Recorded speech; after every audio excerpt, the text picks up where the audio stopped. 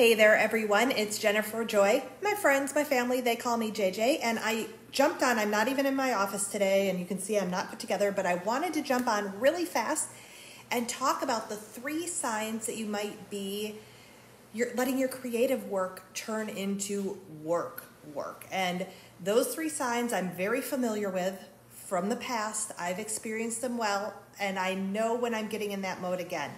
And those three signs are you might feel exhausted, you might feel overwhelmed, and my biggie was that you might feel frustrated. You might feel frustrated. So, what to do? What to do if you are creative that is feeling overwhelmed, exhausted, and or frustrated? Maybe all three. Here's what you do. Real fast, real quick quick tip. Hello if you're joining me. I'd love to see you in the comments say hello or hashtag replay if you're watching the replay. Here's what I want you to do step back. Step back. Like literally, step back. You might need a little break. But here's what I want to ask you. Here's what I want you to ask yourself is where are you trying to people please? And can you let that go?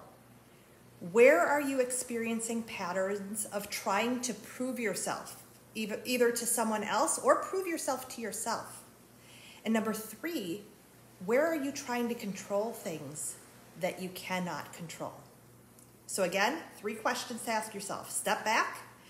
Where are you having patterns of people pleasing, patterns of trying to prove yourself to yourself or others, or trying to control things that you cannot control?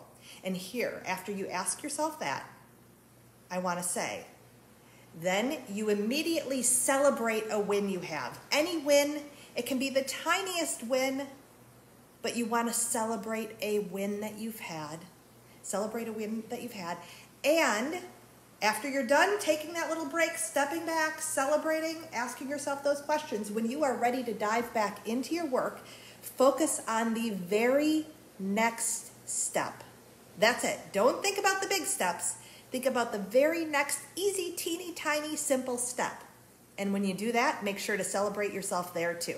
So that's what I have for you today. I'm JJ, the Abundant Artist Mentor, and I cannot wait to see you on my next video. Until, oh, and if you are a creative, I almost forgot, if you are a creative and your creative work is starting to feel like work and you'd like some help with that, we can jump on the phone. I'm going to put the link in my comment section where you can schedule a call with me and see if one of your steps to really help you out of that exhaustion, overwhelm, frustration, whatever your experience, your next step might be to work with me. So again, I'll put that link in the comments. Bye everyone. Have a fabulous weekend. Bye-bye.